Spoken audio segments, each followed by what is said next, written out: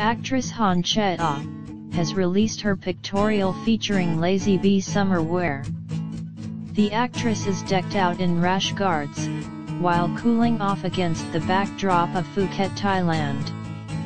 Whether it be surfing or enjoying the summer beach and pool, Han Che-ah exquisitely showcases a variety of designs and colored rash guards.